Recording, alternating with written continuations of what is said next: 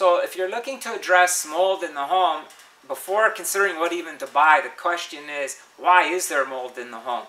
Perhaps there's a leaky water pipe or perhaps there's a crack in the foundation. That has to get addressed first. If you feel or you have had help, perhaps expert help, and you know that there are no water leaks or there is no crack in the foundation, but there is mustiness or mold, um, that's when it's a good time to deal with a company that has really knowledgeable indoor air quality experts on staff. So here at Pure we would just ask some questions to see what your real needs are. Um, you can do a couple simple things like measure your humidity. And that'll help determine if we need a dehumidifier to reduce the odds that mold is going to grow. We have other technologies like our plasma HEPA that is not expensive. It's going to help air to circulate. And we can deactivate molds in the air before our filter even captures them. And depending on certain conditions, we can even destroy adhering mold on walls with the plasma technology, which is revolutionary. This was discovered about 9 to 10 years ago that this is even possible.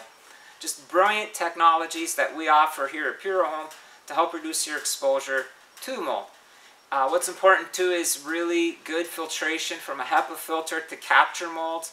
But when you um, synergistically add plasma to that, we have a greater chance to deactivate and then capture the molds as well. So you have to look at what's causing the mold first, get that problem solved, and then you get into the protection, which is the filtration, the dehumidification. Checking your moisture will tell you if you need a dehumidifier, and a good company like Purahome can ask you questions or even come into your home and do some, some nice air testing and demonstrate to you the difference before and after uh, by running a proper air purifier to deactivate your mold.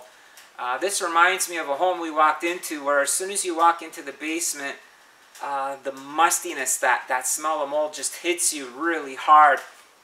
Within two days of doing a proper, in this case we did a whole home install with our plasma install, um, the mold odors were clearly gone. The homeowner was thrilled and we didn't repair the foundation. The foundation was leaking in several spots. You could see the salt forming everywhere.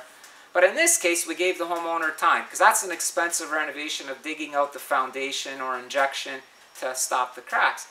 But through proper design, proper airflow, proper filtration, adding plasma, uh, reduce their exposure to the mold.